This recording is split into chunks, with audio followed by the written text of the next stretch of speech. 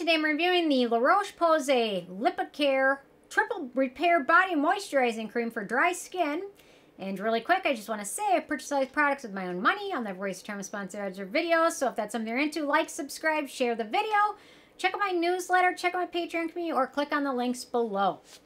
Okay, so uh, I want to say I've repurchased this product before, and uh, I like this packaging. It came in an Eco tube, but now when I looked at it, it comes in a different tube now. So they say, even in the description, that packaging may differ. So keep that in mind. I like this one because it was uh, less packaging, less plastic, nice uh, reusable, reusable paper and things like that. So, um, okay, so they say La Roche-Posay Lipikar Triple Repair Body Moisturizing Cream intensely hydrates to relieve dry and extra dry skin. Then they say packaging may vary.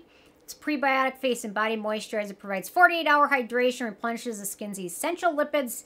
Daily relief for dry to very dry skin for face, body, cream, and body and hands. Very rich, comforting cream. They say with a non-greasy, non-sticky finish, but I beg to differ strongly on that.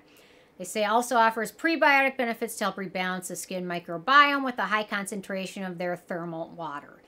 And I, I'll get to the ease of use and things like that in a second. So um, okay, my first criteria is packaging. This is the Eco Tube. It's very minimal, and usually on packaging you see like a lot of extra plastic here. They didn't use that. It almost looks like it's... The first time I checked this on the store, I almost thought it was like missing part of it, or somebody had ripped the bottom off or something, but nope, that's the eco-conscious packaging. In terms of denatured drying types of alcohol, does not contain any of those. It's also fragrance-free and has no noticeable scent to it. The manufacturing location for this one is France, uh, so no issues with that. So ease of use. It is very, very, very, very, very, very sticky after you apply it. It is very sticky for the first day. I, it certainly does hydrate for a couple days, so sometimes in the winter, I will, uh, every other night, I'll wash my hair and things like that. So, okay, so uh, ease of use. So I will say it is very, very, very sticky. They say it's not sticky. It is. It is very tacky.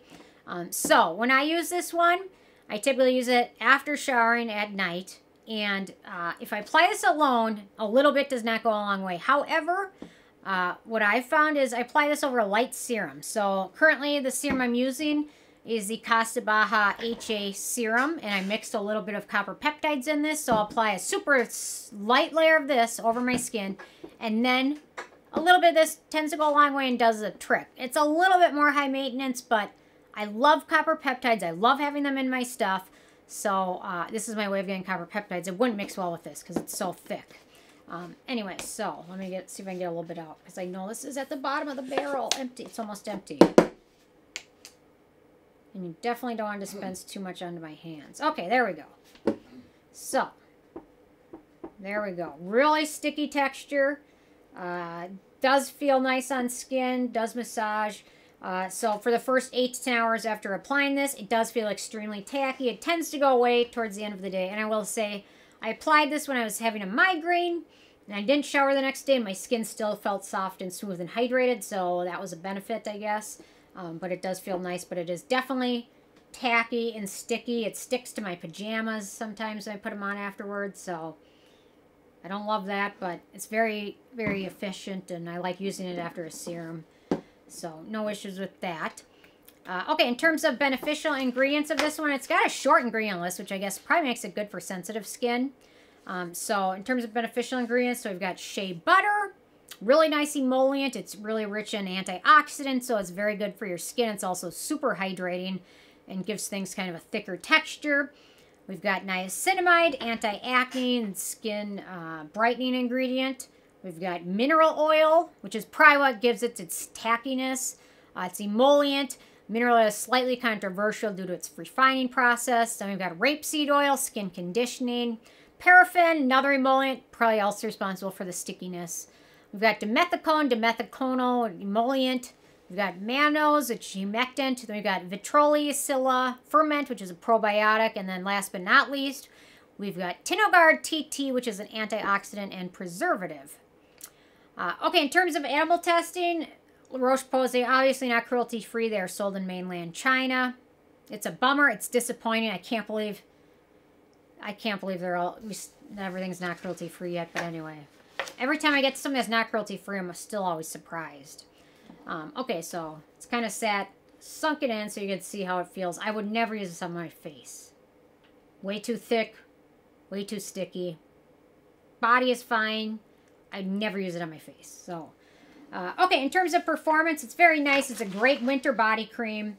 Uh, again, I couldn't imagine using it on my face. I have that in highlights. I cannot imagine using it on my face. Uh, it's very sticky. takes a long time for the tackiness to go away. In terms of the promises, it promises to hydrate and relieve dry skin and extra dry skin. Definitely delivers on both of those accounts. Uh, for acne-prone skin, it's not very friendly. Um, for acne-genic skin, we've got dimethicone, mineral oil, cetearyl alcohol, and glyceryl stearate. Uh, but of those, mineral oil is very acne-genic, so keep that in mind. Um, and then again, at term at times, I typically really like to use this over a serum. Before this one, I was using the Necessaire body serum, which was nice, and now I'm just on to this.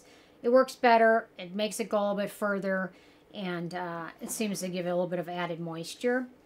Uh, in terms of the price, so uh, this size is 6.7 ounces. It's 200 milliliters and retails for 18 bucks, so it's not terribly expensive. Although, if you're not going to use it over serum, a little bit does not go a long way, so this won't last very long. I'm probably going to finish it this week, I would say. It's getting very close to empty.